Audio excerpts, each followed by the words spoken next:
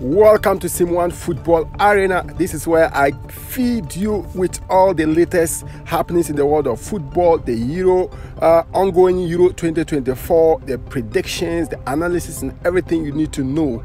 And the hottest headlines, the funny moments in football, everything is stacked in here. So now today we have three games in the Euro. There are some breaking news in the transfer market. I'll feed you with that at the end of this video. So stay tuned. Before you continue, like this video, share follow and subscribe to my youtube channel sim1 football arena now today these are the three games for the euro 2024 the first game is Georgia versus Czech Republic. Now, Georgia, when you look at these two games, it's going to be a very tricky game. Georgia is defensively vulnerable. But both of them lost their first uh, games. Georgia losing three goals to one against Turkey, and then uh, Czech Republic losing 2-1 against Portugal. So I see Czech Republic winning this game by two goals to one. Now we have the second game, which is Turkey versus uh, Cristiano Ronaldo, Portugal.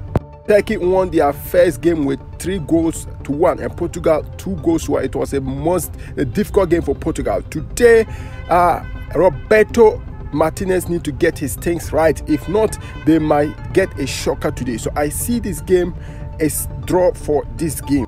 But if Portugal do not take time, they might suffer a disappointing loss today. Now let's go to the last game, Belgium the last game is against Belgium versus Romania. Belgium suffered a shocking defeat the last time by one goals to nil. Now today's game, Belgium need to get their boots right and then start their campaign. Now I see this game as a 2-0 or 3 goals to 1 for this game. Don't know your predictions on the comment section.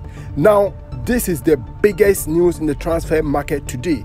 Chelsea have completed the signing of the Brazilian young talented winger Estevão Williams. Now, reported by Fabrizio Romano, a 4 million add-ons into William Estevão deal between Chelsea and Palmeiras will be for future achievements. So Chelsea have signed all documents for William Estevão deal still condition 34 million euros fixed fee, 6 million add-ons, 17 million add-ons based on being like these are the documentation for the deal. Now, another big news for Chelsea is that Chelsea are close to an agreement with Aston Villa to sign 18-year-old forward Omari Kellerman with a deal expected to be stuck for around 19 million. This includes the deal for Maatsen, but both deals are being treated separately. So Maatsen will come and then uh, Maatsen will go and then Omari Kellerman will come on the other way around. So these are the two big transfer news today in the transfer market. Let me know your reactions on the comment section.